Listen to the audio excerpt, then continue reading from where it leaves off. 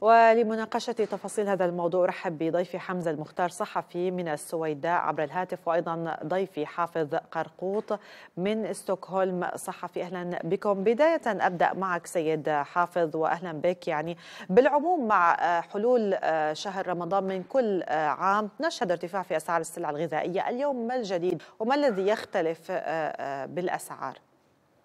يسعد اوقاتك واوقات مشاهديك يعني كل رمضان والسوريين بألف خير وإن شاء الله يعني بأقرب وقت يقضوا رمضان بأكثر سلام وأمان يعني. مثل ما تفضلتي دائما من قبل الثورة يعني دائما كان هنالك على رمضان بذكر بحارات دمشق ترتفع الأسعار بشكل جنوني حتى أسعار المواصلات والأفران وكل شيء وكاد إنه يعني فرصة لابتزاز الناس بهذا الشهر الفضيل. الآن جاءت الأزمات تراكمت يعني خلال العشر سنوات الماضية أو 11 سنة الماضية حتى وصلنا إلى هذه اللحظة. بالنسبة لمحافظة السويداء على الأقل يعني ندرك بأن محافظة السويداء لا يوجد لديها مصادر أساسية كبيرة للغذاء. يعني مساحات المزروعة اللي ممكن تعوض السوق بالخضرة أو بغيره أو حتى الأفران يعني بالقمح شبه معدومة صارت. أول شيء بسبب الجفاف اللي ضار بالمنطقة الجنوبية سابقا، ثاني شيء بسبب عدم قدرة الناس أصلا الوصول لأراضيها بسبب غياب الأمن، رابع شيء وأهم شيء المحروقات، محروقات المحروقات والسمسرة على المحروقات حتى لما بتكون المحروقات لها علاقة بالنقل أو لها علاقة بالأفران. بجميع الأحوال يعني مصدر الغذاء في السويداء جزء كبير منه عم بيجي من العاصمة دمشق. بين السويداء والعاصمة دمشق في عدة حواجز. بعض هاي الحواجز تابعة لماهر الأسد. هاي الحواجز أحيانا عم تأخذ دائما عمولات. عمولات سمسرة على الطريق من كل شاحنة فيها خضرة أو فيها لحم أو فيها أي نوع من أنواع الغذاء دائما عم تأخذ عمولة. حتى يعني يعني البداوي اللي عم بيحاولوا الرعيان اللي عم بيحاولوا يرعوا الأغنام بسبب ما موجود ما في مرعى داخل السويدة حاليا عم يضطروا ينتقلوا باتجاه البادية. الحواجز عم تأخذ منهم دائما أتوات حتى على نقل الأغنام تبعهم للرعي. فكيف هذه إذا بدها تنتقل لأجل الذبائح أو لأجل يعني دعم السوق؟ بعتقد بأنه جزء من الطرق غير الآمنة سبب برفع الأسعار وكما قال احد ضيوفكم يعني انه إنه الحقيقة الدولة هي بدها ترفع الأسعار لأنه في نوع من الفساد، م. الفساد مستشرب إن كان بالمؤسسات يعني إذا أردنا التحدث عن أسباب هذه القفزات السعرية في السوق وأسعار ارتفاع بأسعار السلع الغذائية الأساسية هو مسألة نقل المواد الغذائية من دمشق إلى السويداء والحواجز على الطريق؟ فقط؟ هذا جزء أساسي بالنسبة لنا بالإضافة لفقدان المواد. يعني عمليا آه لما بدات تجي المواد من العاصمة وبالأساس المواد بسوريا شبه يعني آه عمليا مفقودة بشكل كبير. السوق في أزمة أزمة تسويقية أزمة لأنه ما في مصاري بايد الناس. فهي الشام بدها توزع على المنطقة الجنوبية بشكل رئيسي وبالإضافة كانت تجي بعض المواد من درعا. بسبب الظرف الامني في درعا وبسبب طبعا تشرد السكان كمان يعني قل الدعم لسوق السويداء بالإضافة بأنه بعض الخضروات فرضا كانت تنتج بالبيوت البيوت البلاستيكيه، البيوت البلاستيكيه بدها وقود، الوقود مفقود والكهرباء مفقودة، على ذلك يعني الأسعار طارت بشكل عام. وفرصة إن كان يعني طبعا الدولة ما عم تضبط الأسعار لأنه أصلا ما عندها قدرة لا تضبط أسعار ولا هي بالأساس موجودة. يعني نحن شبه خالي الدولة، والتجار بيلاقوها فرصة لزيادة الربح من جهة ضمن اتوات النقل من جهة كلفة النقل عالي واتوات الحواجز على الطرقات من جهه من جهة أخرى طبعا يعني وضحت إنه الأسعار عالية أيضا بسبب ضعف القيمة القوة الشرائية للسكان. يعني أول شيء ما في مصادر دخل حقيقية بالسويد غير بعض الوظائف. الحاله الزراعيه صار يرثى لها لأنه الأرض ما عادت عطت شيء. أول شيء بسبب المناخ السيء. ثاني شيء بسبب طبعا فقدان الأمن. رابع شيء أصلا لما كانت الناس تجني حتى محصول التفاح الأساسي. كان تجار دمشق يتحكموا فيها عبر الحواجز أيضا تابعة للنظام يتحكموا بالتجار. على ذلك كانت الأسعار كمان تأخذ وتعطي وكان هذا دخل احتياطي للناس. لكن أيضا حوصر. بقي فقط التحويلات بشكل رئيسي مع الراتب الصغير اللي بحدود بين 90 ل 120 ألف وسطيا الراتب طيب سأعود إليك سيد حافظ. أنتقل الآن إلى حمزة المختار. مرحبا بك مجددا. سيد حمزة راتب الموظف اليوم لو حمله ونزل إلى السوق ليشتري حاجياته ما الذي باستطاعته أن يشتري؟ مساء الخير لك ولاستاذ حافظ. هلق راتب الموظف إذا بده ينزل على السوق ليشتري حاجاته ممكن تجيب له جالون زيت و2 كيلو سكر على على على مستويات يعني.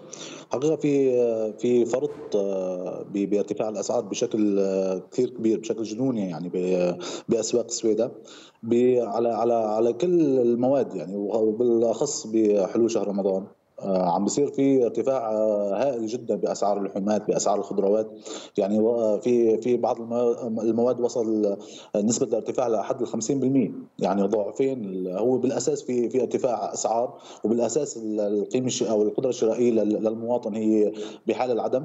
فمع مع أي مناسبة بتحل على على على السوريين عم بيكون في اقتناص للفرصة سواء كان شهر رمضان سواء كان في أعياد. عم بيصير في اقتناص ما فينا نقول بس من قبل التجار يعني في عوامل كثير عم بتاثر وعم بتؤدي لهي الارتفاع. ولكن يعني بهذا الشهر إذا بدنا نشوف أو نقارن بشهر رمضان السنة الماضية يعني في ارتفاع بنسبة 100% على كل المواد الأولية والأساسية للمواطن.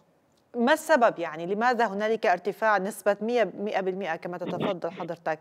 آه، و آه، يعني هل في جميع السلع الغذائية هذا الارتفاع أم البعض منها؟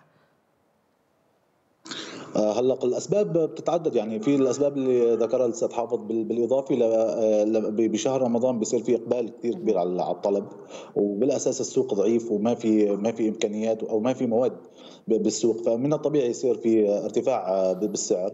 بالإضافة لأنه ما في رقابة تموينيه على على التجار أو على الأسواق. آه، هلا المواد اللي آه، صار فيها ارتفاع يعني آه، عندنا اللحومات والدجاج صار فيها ارتفاع نسبة 100% يعني كيلو اللحمة قبل شهر رمضان كان ب 45000 واليوم بشهر رمضان ب 90000 آه عندنا ارتفاع على الخضروات بنسبة 15% كمان بتتفاوت ما بين نوع ونوع. يعني البطاطا مثلا صار في ارتفاع بنسبة 15% بينما الخيار مثلا صار في ارتفاع أكثر من 50% يعني صار آه كيلو الخيار ب 8000 ليرة بينما كان قبل شهر رمضان ب 4000 4500 نعم. بالإضافة طبعا للسلات الرمضانية يعني اللي اللي عم توصل لل 95000 وال 100 وال 100 و 5000 يعني راتب الموظف كامل بيصلي رمضانية هي بتحتوي على لترين زيت على 2 كيلو رز على مربى يعني ما ما ما بتكفي يومين أو ثلاث أيام لأي بيت بالسويد نعم, نعم.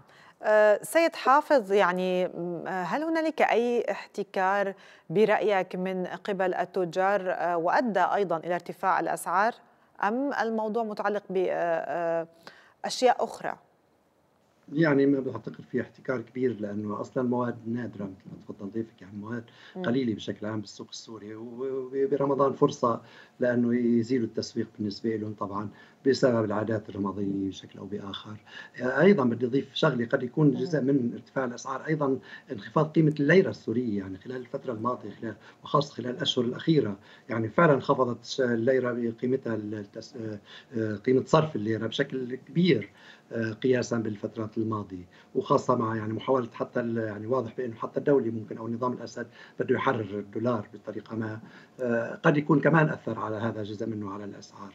لكن بالنسبة لمحافظة جبلية بالأساس ما عندها أي طريق ثاني يعني حدودها مع الأردن مغلقة كليا البادية الشرقية يعني ما فيها شيء عمليا الوضع بدرع كلنا بنعرفه وما بقي المعبر الوحيد باتجاه دمشق. على ذلك نظام الأسد يتحكم بهذا هذا المنفذ الوحيد لهذه المحافظة والتجار يتحكمون بالأساس يعني التجار ما هم جمعية خيرية ولا هم جمعية إنسانية ولا تابعين لمجتمع مدني التاجر بدور على جيبته بشكل رئيسي. وما عندنا لا نقابات ولا هيئات رقابية حقيقية في سوريا يعني نقابات الفساد أو رقابات الفساد.